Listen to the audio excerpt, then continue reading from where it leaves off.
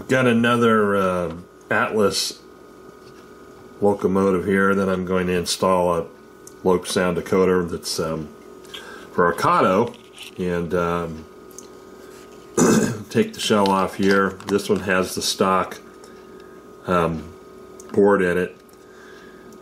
No DCC or anything. I have three others here of the same one. These are the uh, GE C40-8s and uh, I've had these for a few years here. Like I said, they've got decoders in them already. At least three of them do, with the exception of the one here that's got the stock DC decoder board in it.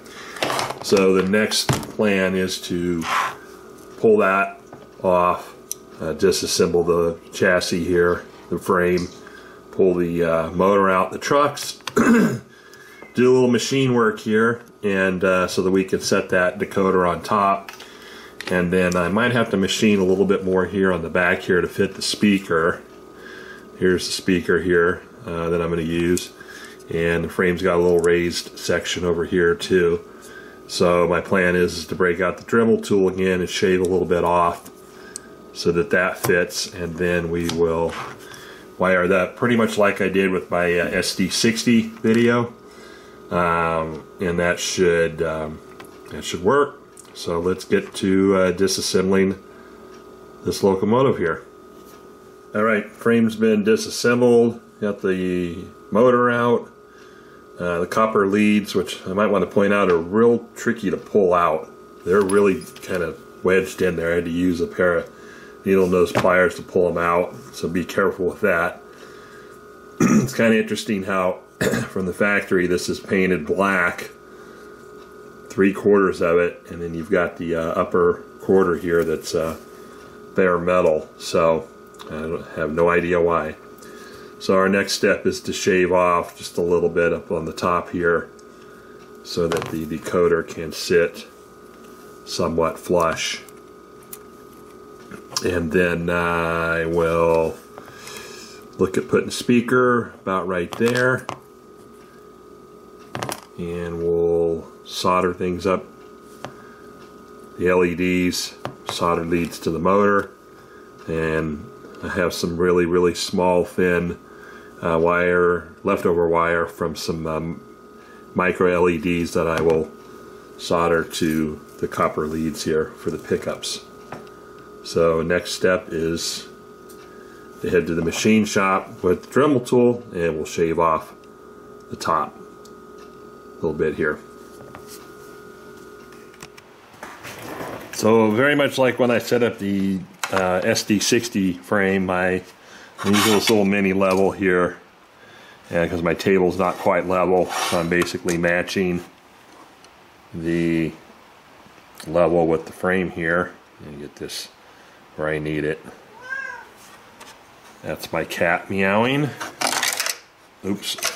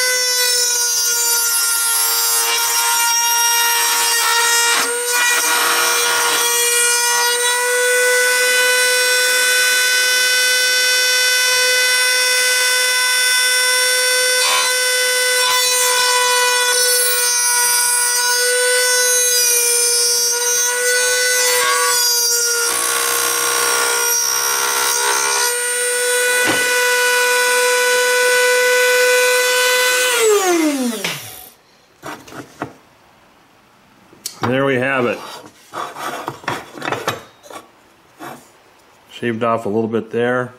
I will take the file down and file down the rough edges here and wash it off with some soap and water and uh, start reassembling this.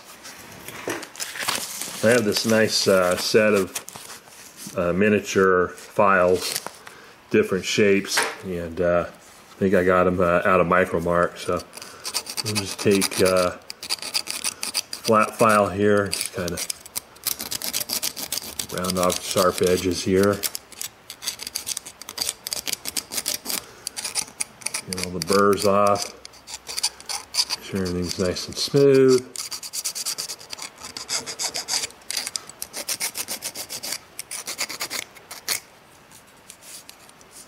like so as you can see maybe I shine the light on there a lot of metal shavings in there there was uh, quite a bit of grease from the factory on the chassis here where the gears are that I wiped off just to keep from uh, collecting more and more metal shavings here so we'll give it a good bath I'll tear it apart here these two halves here and with some soap and water get all the uh, metal shavings off and then start putting it back together. There we go. On these Atlas locomotives, when you tear them apart, be sure you don't lose the uh, plastic nuts and little spacers here and screws. Also, in the middle here, there's a couple other little spacers there to keep the um, two halves from shorting out. Those uh, those are very small and hard to find, so pull these off with some tweezers here so you can see how big they are. Little tiny things there, so watch out. You don't want to lose your parts there. Put them in a little tray or bin or something like that while you're working on this so you don't uh, misplace them. Okay, I got two halves here. We're going to put some warm water on them. I got an old toothbrush here that I'm going to use to kind of clean them up. a little soap.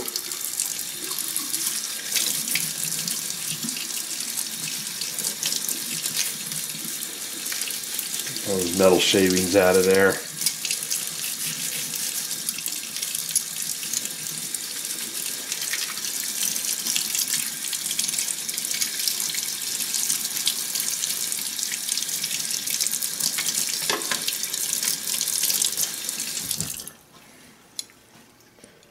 There we go, all nice and clean. I'll dry them off on a paper towel and let them sit for a little while so they dry out. I had the frame um, reassembled, just put the two halves together, and then um, just to check the clearance with the speaker, I have taped it approximately where I'm going to mount it. I just want to make sure that it's going to fit when I put everything together here nice and flush to where I don't have to do any more machining and looks like we're we're good there. I want to point out with these Atlas uh, uh, Dash 8s um, have pretty good detail here with the hoses, the MU hose uh, and the, the, cut levers. Um, I like that uh, with these locomotives here. I also took a Sharpie with the old light board and marked on the frame where approximately the LEDs are so that I shorten them up to the right uh, length there so they're not too long. So I've got my mark there, Sharpie, and then uh, back over here too. So when I size up the board before I solder, it's going to be something like this right here. And then I'll cut and solder the LEDs to length there. And then I'm planning to tape the board down with some Kapton tape and then we'll solder some wires for the uh, motor leads.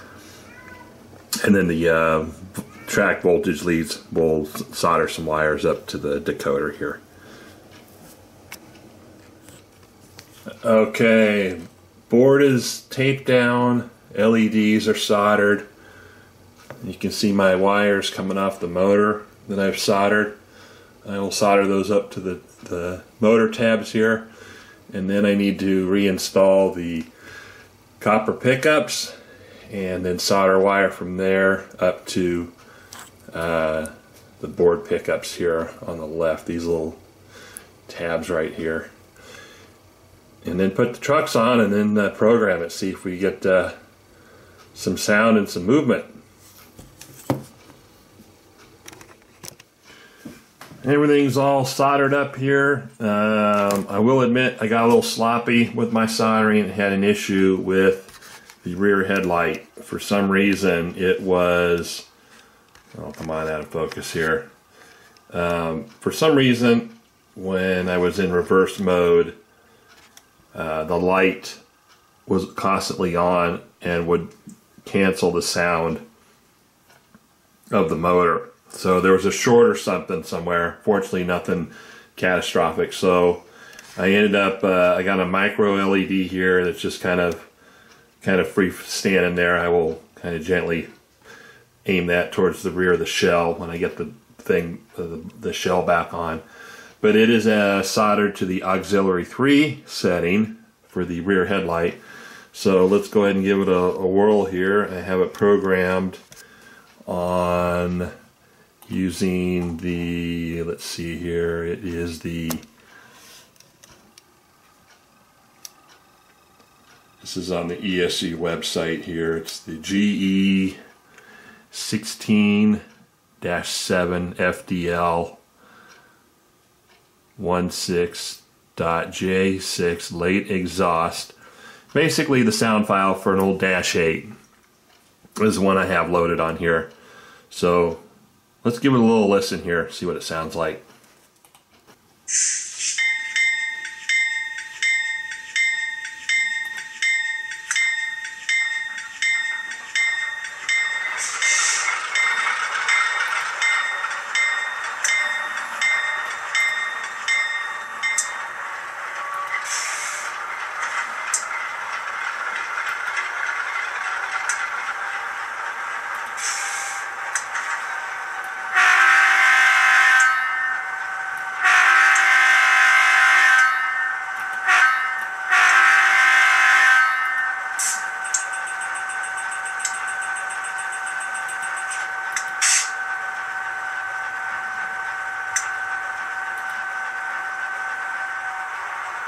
All right, sounds pretty good. I'm gonna slap the shell on here. Hopefully everything goes in nice and uh, snug and uh, we'll give it another whirl with the shell on. See if we get it to move too. All right, shell is on. Let's give it a whirl here.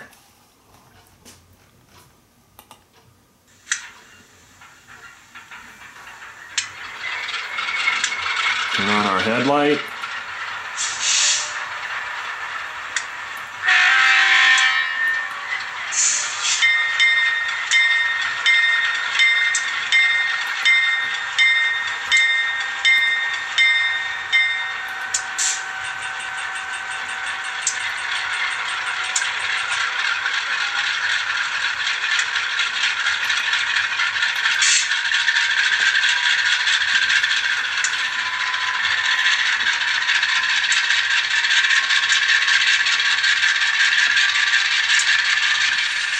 Let's check on our headlight here. Nice and bright. You got it set up on the dimmer setting, F12. Okay.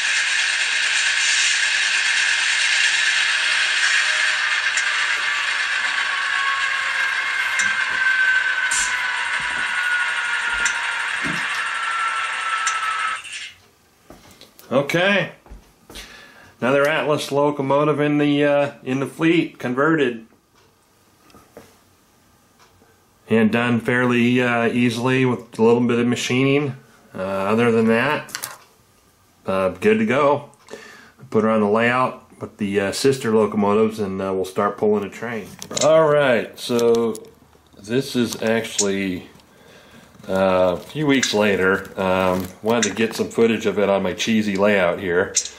But um, anyway, we've got it hooked up to a couple of Ocado SD40-2 is my middle unit here is actually a dummy unit, no um, motor in it. But I did put a uh, single function decoder with a little flashing uh, beacon up there. And then the uh, second unit is powered. I did have to do some adjustments. It's got a Digitrax decoder in it so that it would um, wouldn't run uh, so fast. Because the um, Atlas one here, even with the excuse me ESU decoder, still run a little slow, but a lot better than with a Digitrax decoder. So let's fire it up, and we'll uh, we're going to pull a little short uh, hopper train here on the layout. Let's start her up.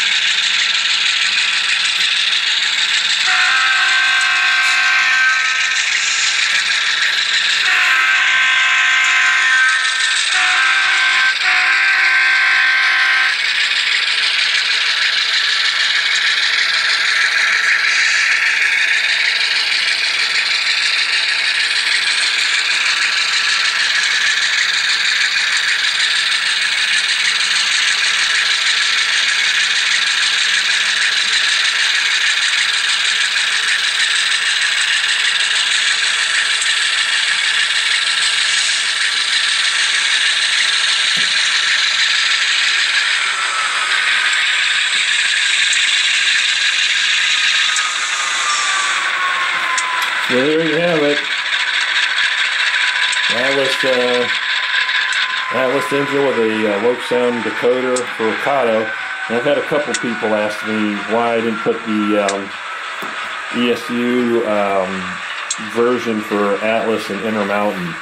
I have done that. Uh, I did that on a uh, SD60 uh, BN unit. And to be honest, uh, when it comes to the auxiliary stuff, on the, the, the Atlas version one, they don't, the terminals are really hard to get to. They've already got LEDs soldered to the board. It's actually, those are boards, I think they're actually for a factory equipped Atlas model. Um, and it was a little more difficult putting that in. Didn't really require machining uh, like I did on this one here, but I just like the Kato boards. They're a lot more si simpler. I think the part number is a 53741. That's the, the one for the Kato uh, chassis. So, I don't know. I'm going to probably, if I keep doing more Atlas uh, locomotives, I'm just going to do the Kato.